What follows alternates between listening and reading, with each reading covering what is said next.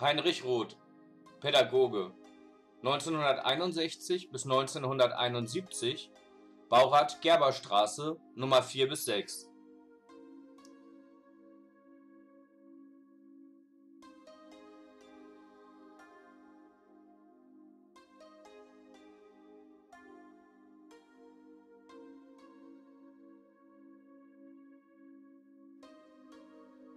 Heinrich Roth, 1906 bis 1983, Pädagoge.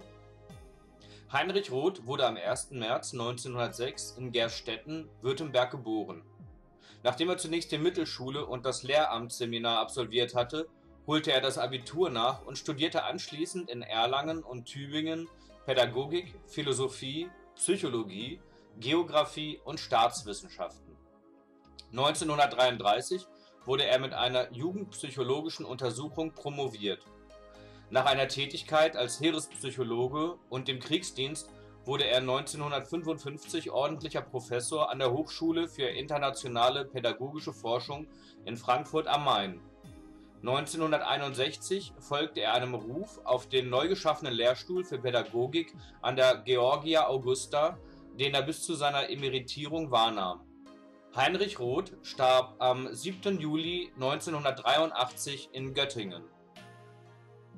Heinrich Roths Bedeutung beruht zum einen auf seinem überragenden Einfluss auf die Entwicklung der wissenschaftlichen Pädagogik. Seinem Wirken vor allem ist es in Deutschland die Entwicklung einer realistischen Erziehungswissenschaft zu verdanken, die er in seinem Standardwerk Pädagogische Psychologie des Lehrens und Lernens zusammenfasste.